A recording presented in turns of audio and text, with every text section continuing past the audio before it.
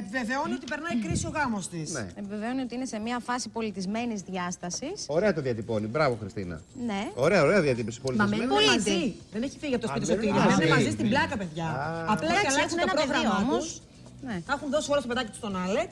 Τον είχε δει και εσύ του Άλεξ εδώ πέρα και θα δει πού θα πάει το θέμα. Εντάξει.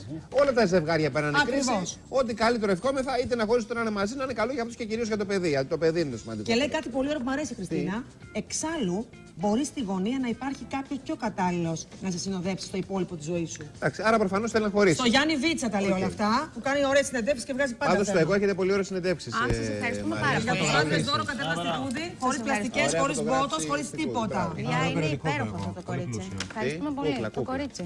Είναι στο top 5 των γυναικών Ωραία, που δεν ανοίγματα, χρειάζονται ερετούς, φαντάζομαι. Δυνατή, δυνατή. Ω, ω, Είδες ω, τι Οπότε γίνεται. καταλήγεις στο- σε άλλο περιοδικό πάνω. Είναι ατελείωτο το πόδι. Ξεκινάει το εγώ και τελειώνει σε άλλο. Ναι. Στο εμείς. Πάμε, πα- τι πάλι, Ελεάνα, τι θα γίνει, ρε;